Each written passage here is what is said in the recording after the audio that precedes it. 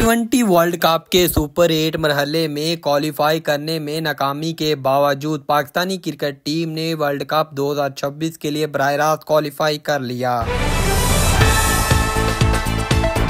Green shirts को बेहतर ranking की बिना पर दो साल बाद होने वाले टी ट्वेंटी वर्ल्ड कप में रसाई मिली है। इंटरनेशनल काउंसिल ने बर रास्त क्वालिफाई करने वाली 12 टीमों की लिस्ट जारी कर दी। मेजबान श्रीलंका और भारत के अलावा अमरीका, आयरलैंड और अफ़गानिस्तान शामिल।